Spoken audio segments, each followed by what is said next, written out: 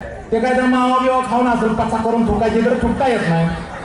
म्हणून ते मागच आपलं भरायचं म्हणून अरे तू मावा जरा बदल वाटतं तुला डबल मारलास काय? डबल नाही तुझा गाल फाटणार आहे जरा चांगल्या काय माझं माझं त्याच्या पण कटी आलाच नाही का? माझं नाव सांगायचं. तुझं नाव सांगायचं काय पंतप्रधान आहे एवढ्या धोक्याच्या या समाजात भरल्यात आणि बारक्या पोरांनी पाठवून देतात. आणि वर काय सांगतात? माझं नाव सांग.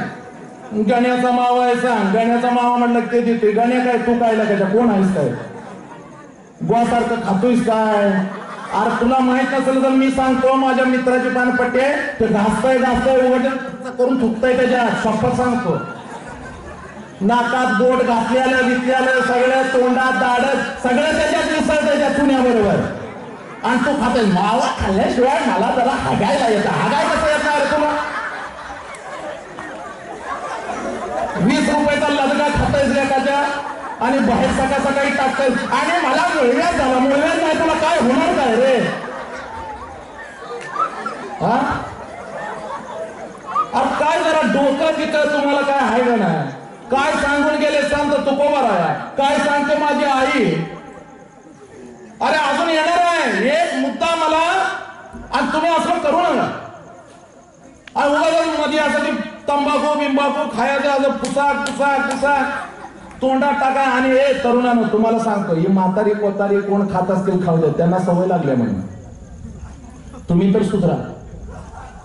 तुमच्या तोंडामध्ये मावा शोभत नाही तुमच्या तोंडामध्ये रोज उठल्यानंतर नाव शोभत पुण्यश्लोक अहिल्या बाई फळकर यांचं तुमच्या मुखामध्ये नाव शोभत सकाळी उठल्या लक्षात घ्या. आणि तुमच्या मुखामध्ये नाव शोधतं सकाळी उठल्या उठल्या आपल्या आईचं लक्षात घ्या.